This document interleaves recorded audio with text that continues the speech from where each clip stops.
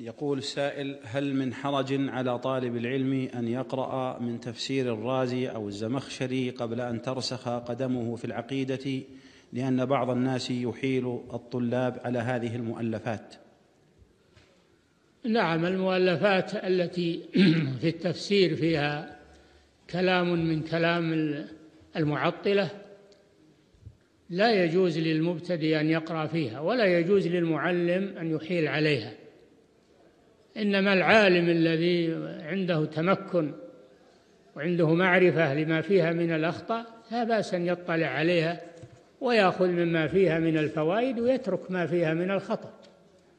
أما طالب العلم والمبتدئ فهذا يبتعد عنها لأنه قد يغتر بما فيها ويروج عليه ما فيها من الأخطاء. نعم.